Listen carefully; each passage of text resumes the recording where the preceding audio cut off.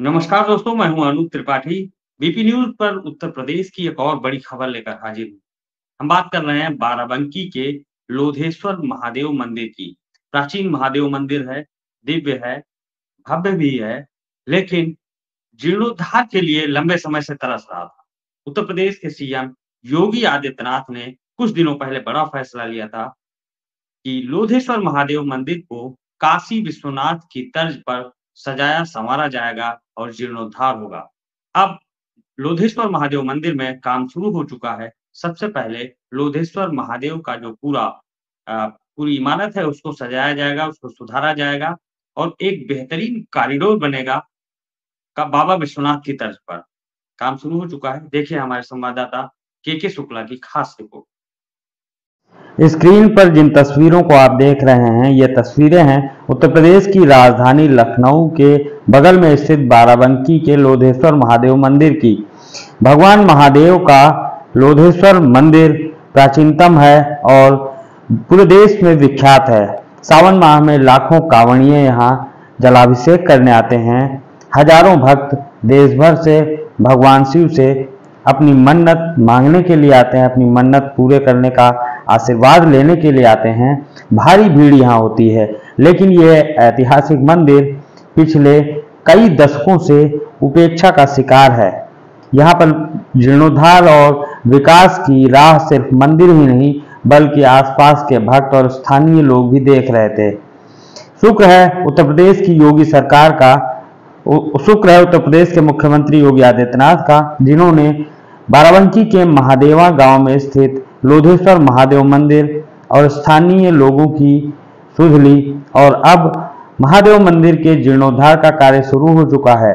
बाबा काशी विश्वनाथ मंदिर में बने भव्य कॉरिडोर की तर्ज पर लोधेश्वर महादेव मंदिर में भी भव्य कॉरिडोर बनाए जाने की कार्रवाई शुरू कर दी गई है। मुख्यमंत्री के निर्देश पर बाराबंकी डीएम सत्येंद्र कुमार ने जमीनों के अधिग्रहण की कार्रवाई शुरू की एक सौ अट्ठावन मकानों की ज़मीन अधिग्रहित की जानी है। डीएम के अनुसार अब तक 106 मकानों की ज़मीन अधिग्रहित की जा चुकी है और अब वहाँ पर बुलडोजर पहुँच चुका है। जिन मकानों का जिन जमीनों का अधिग्रहण हो चुका है उनको समतल किए जाने की कार्रवाई शुरू कर दी गई है जिससे कि काम शुरू हो, हो सके। बाकी के जो मकान और जो ज़मीन अभी अधिग्रहित की जानी है उसकी भी जल्दी कार्रवाई पूरी की जाएगी। पत्रकार के के शुक्ला ने बताया कि यहाँ पर सिर्फ़ उत्तर प्रदेश ही नहीं, बल्कि पूरे देश से सावन माह में लोग अपनी मन्नत मांगने के लिए आते हैं, भगवान के दरबार में और जलाभिषेक करते हैं और अपनी मन्नत मांगते हैं। यहाँ पर लंबे समय से विकास कार्यों की प्रतीक्षा थी।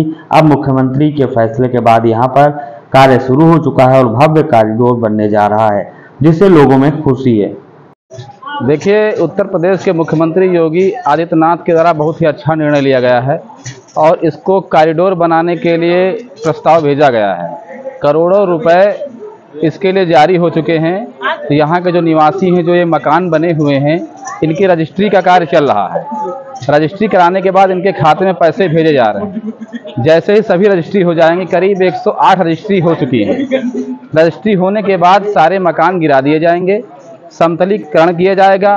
पर्यटन विभाग के द्वारा मैप तैयार किया जा चुका है कॉरिडोर बनाने का। जैसे काशी विश्वनाथ में कॉरिडोर बनाया गया है, उसी की तर्ज पर मुख्यमंत्री योगी आदित्यनाथ के द्वारा कॉरिडोर बनाने का काम किया जाएगा। देखिए उत्तर भारत का प्रसिद्ध मंदिर है, जो लोधेश्वर नाम के से विख्यात है और ये स्वयंभू शिवलिंग है। एक लोधे राम थे, जो अपनी खेत जुताई कर रहे थे। जुताई करते समय फावड़ा उन्होंने चलाया।